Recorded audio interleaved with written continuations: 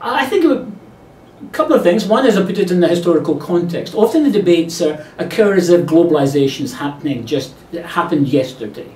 You can identify different waves. The first wave was obviously 1492. Uh, the Columbian encounter was one of the massive forms of globalization. Then there was a second wave of globalization in the late 19th to early 20th century when capital population flowed freely around the world. You could leave Central Europe and arrive in New York City without any passport or documentation. If you try that now, it would be slightly harder. So, in other words, it's not quite as flat in many ways.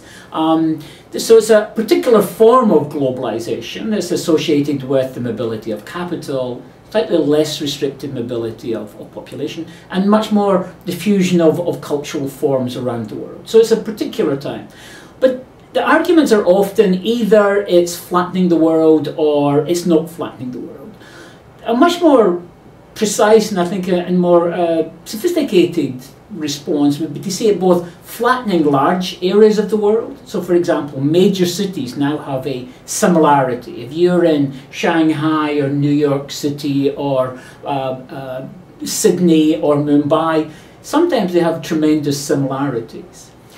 Rather than a flat world, it's a world of valleys that look much the same, uh, but also inaccessible peaks.